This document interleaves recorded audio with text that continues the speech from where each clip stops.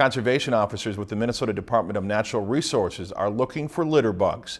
Some winter melting is bringing garbage along roadways and waterways to the surface. Conservation officers have found anything from fish house materials to bags of household trash. With Ice Fish House required to be removed in March, the DNR is reminding the public to take everything back with them. A lot of times people remove fish houses and they have leftover blocks that have been frozen into the ice and they just assume that that's going to be okay or somebody else will pick them up when the thaw comes and that's the wrong attitude to have. Um, if you remember a simple concept, what you bring out onto the lake you should bring back in with you.